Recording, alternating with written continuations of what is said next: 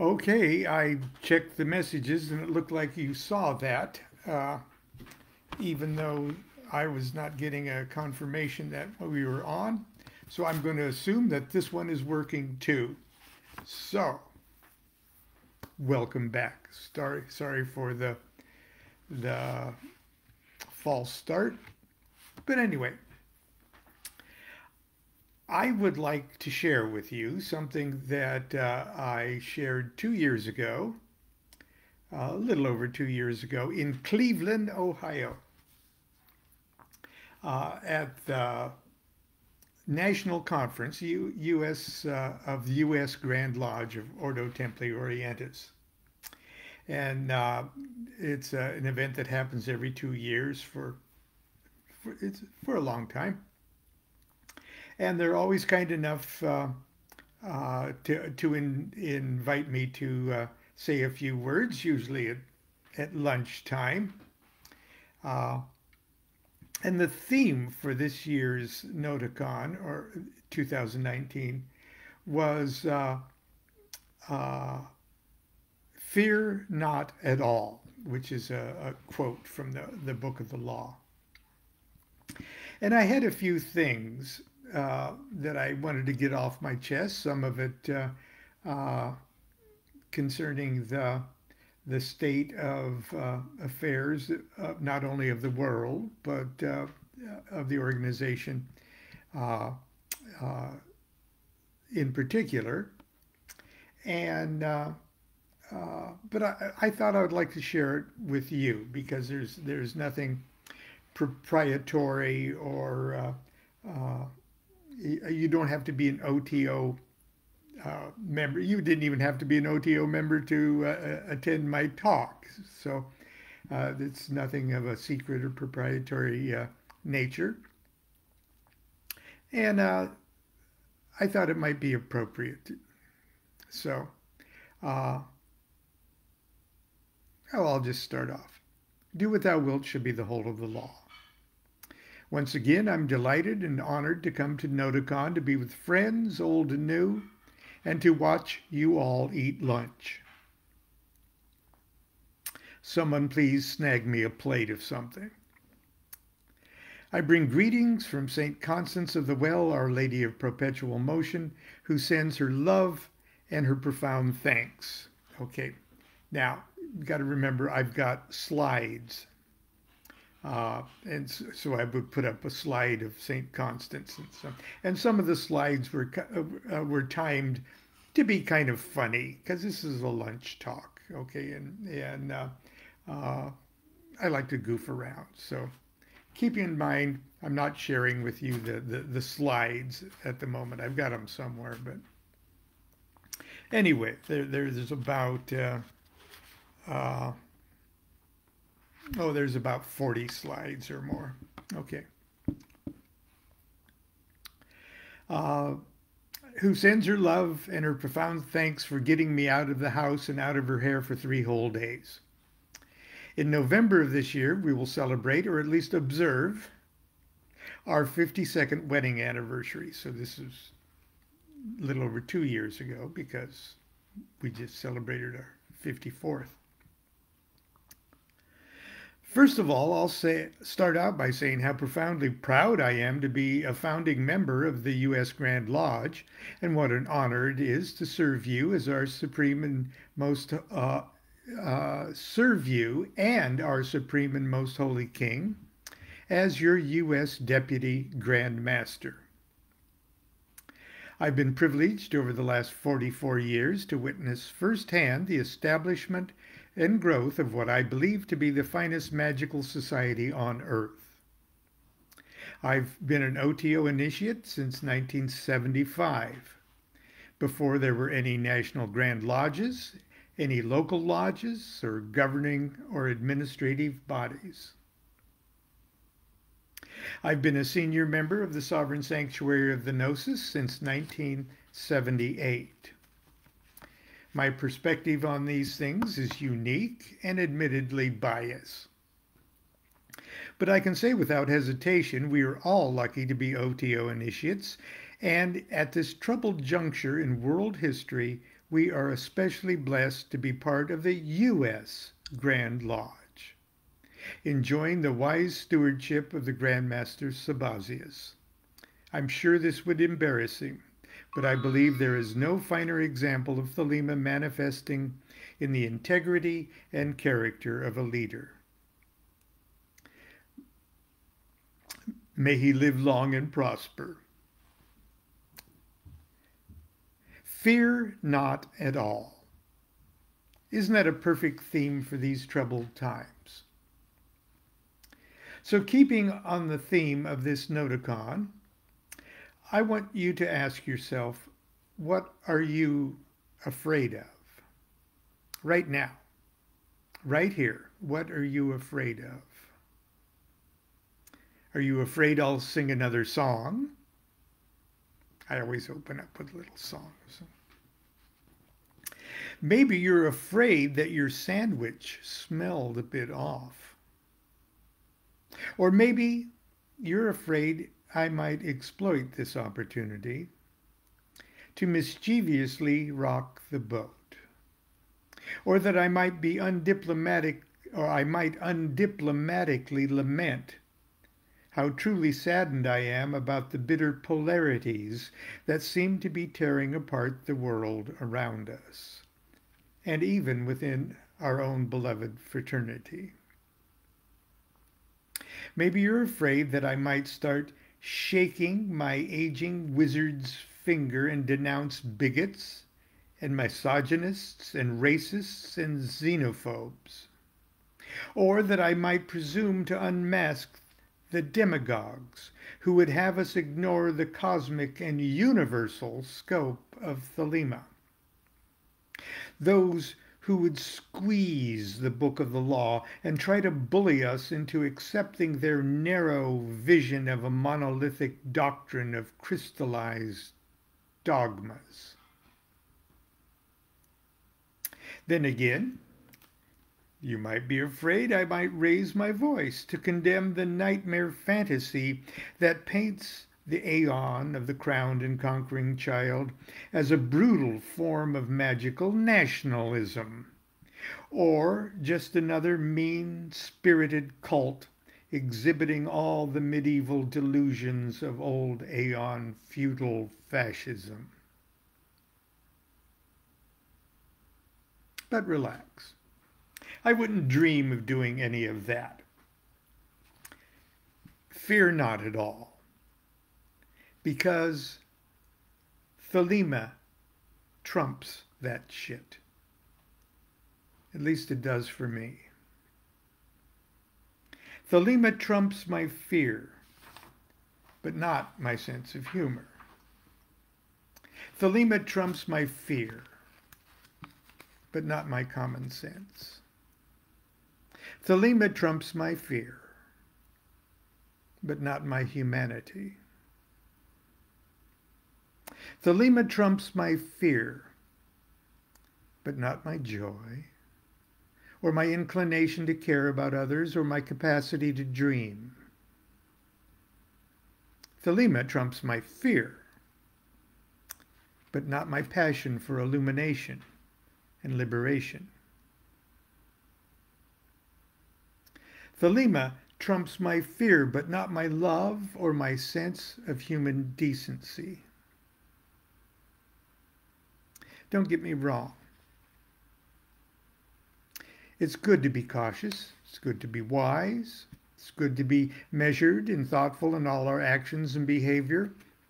But fear is poison. Poison to your magical practice and poison to your life. And don't think I'm preaching this gospel from fear, of fearlessness from the marble pulpit of righteousness and courage. On the contrary, I'm shouting it from the cardboard megaphone of my own ignoble cowardice character. My old diaries show that as I began my life as a practicing magician, it seemed like I was afraid of everything When I rehearsed my first pentagram and hexagram rituals, I superstitiously monitored everything from my heartbeat to my horniness. I fantasized seeing spirits out of the corner of my eye and recorded the dumbest shit in my life in my diary. I realize now that most of my fears of things that go bump in the night came from my traumatic religious upbringing. In many ways, I was still trapped in a hostile universe that reverberated with the thundering curses of a wrathful God, who, like an abusive father, frightens little children into acceptable behavior. Today, as I review my old diaries, it all seems pretty silly and melodramatic performed the greater invoking pentagram ritual of fire for the first time. Wonder what will happen. Later in the day, broke a shoelace and had acid reflux. Oh. Or slept with Mars talisman under my pillow. Dreamed my father's corpse was eaten by seahorses. Woke with an erection.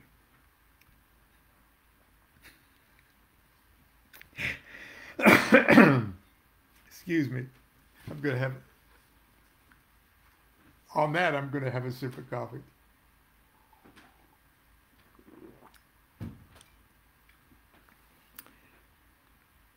Thank the gods that I had Phyllis, who in those early years, when she was not projecting her own fears on me, mercilessly ridiculed my naive terrors and, uh, and helped me develop an attitude akin to that of a motivated research scientist who overcomes fear by intense curiosity and a sense of scientific wonder. Remember Laura Dern's character in Jurassic Park rolling up her sleeves and plunging her arm into a huge pile of dinosaur poop, searching for a clue to the poor animal's tummy ache? Well, I think we can agree that being a magician is much like blindly searching for truth in a huge pile of shit. We need the same detached attitude of fearlessness, determination, and an unspeakable passion for enlightenment if we're ever to find it. The rights of man, as outlined in Liber Oz, give us a firm foundation for our fearlessness. Last year, I had the honor and pleasure of presenting a short talk at Ozfest in New Hampshire, and I'd like to share a couple points I brought up. Liber Oz contains seven quotes from the Book of the Law inserted within the text. Naturally, quotes from the Book of the Law are Class A, so of course we never presume to tinker with Class A document material. But the actual text of Liber Oz is not Class A. It's, it's not one of those works that may not be changed in style of a letter. Liber Oz does not re- represent the utterance of an adept utterly beyond criticism, like Class A documents do. Because it's not Class A, Liber Oz stands exposed to honest analysis, comment, and criticism. So, just for fun, and because we're not talking Class A here, Let's try this on for size. There is no God but woman.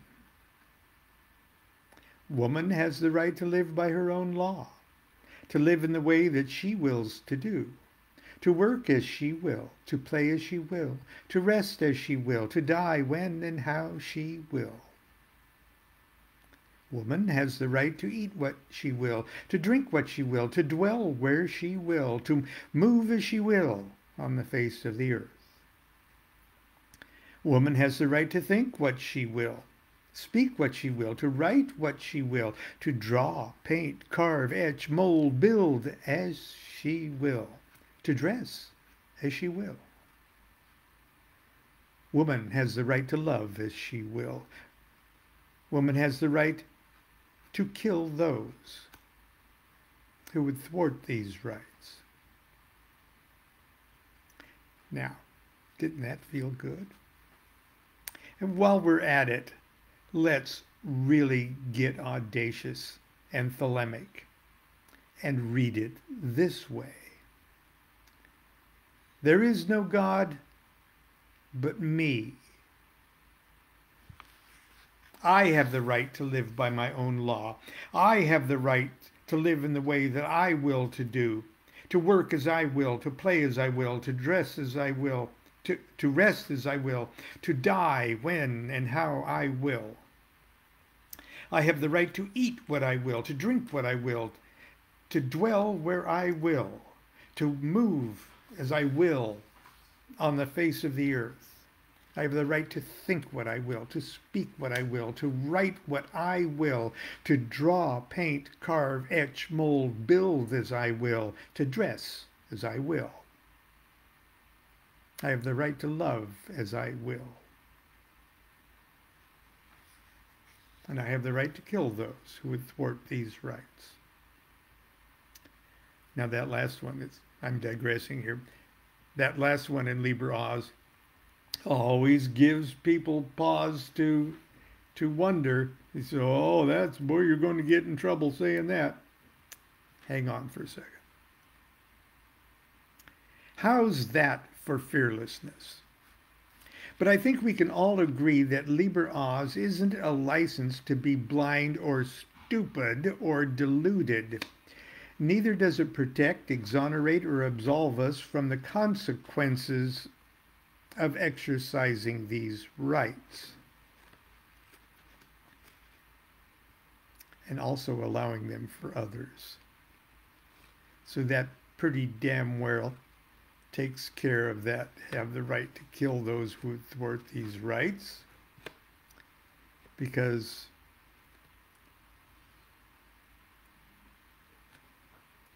who knows what rights you're violating for the person you you would kill. Okay, but anyway, that's law. That I digress.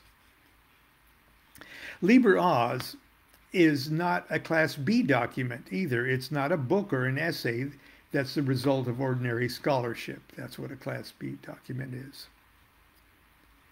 Nor is it a C document, which is uh, composed of material regarded as suggestive rather than anything else. It isn't included among the AA rituals and instructions, so it's not Class D either. You might be surprised to learn that Liber Oz is not even listed among the Class E documents that consists of public announcements and broadsheets. Liber Oz is signed Aleister Crowley. It's not signed Perdurabo or Ankh-af-na-khonsu, nor OM, not 666, not OSV or VVVVV, not To Mega Therion. It was signed Aleister Crowley. It is written and signed by Aleister Crowley, a man a man declaring the rights of man. Crowley labels Liber Oz an historic document and tells us that it was meant to convey the OTO plan in words of one syllable. Unquote. For a concise and authoritative statement concerning the quote OTO plan, unquote, we might turn to Section 2 of the revised 1917 Constitution, which tells us, quote, the principal purpose of the OTO is to teach true brotherhood and to make it a living power in the life of humanity. Unquote. The principal purpose of the OTO is to teach true brotherhood and to make it a living power in the life of humanity. As such, Liber Oz appears to be intended for each and every Liber Oz is not just for OTO members. It is not just for brothers of or aspirants to the AA. Liber Oz is not a message reserved for self-proclaiming Thelemites, not just for magicians. Liber Oz is the declaration of the rights of each and every human being whose evolving consciousness has developed a sense of self and whose self-identity has formulated a will.